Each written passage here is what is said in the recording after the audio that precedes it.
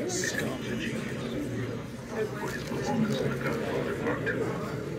gave him the Academy Award. Now, Robert De Niro creates a terrifying portrait of life on the edge of the madness.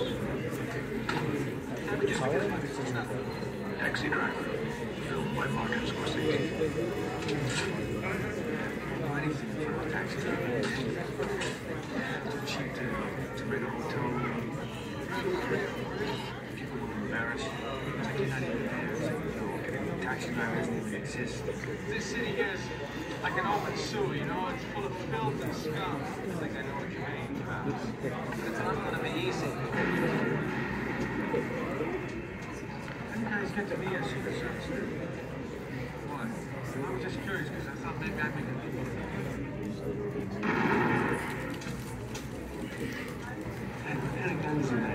38, 45s, like something bigger maybe. Hi, I'd like to volunteer. Why? I used to do videos that I've never seen. The taxi driver is looking for a target. Getting ready. Getting organized. Preparing himself for the only moment in his life that will ever mean anything.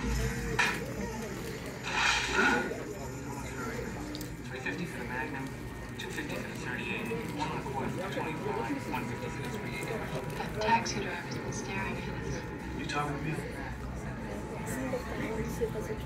You talking to me? I don't know if he's weird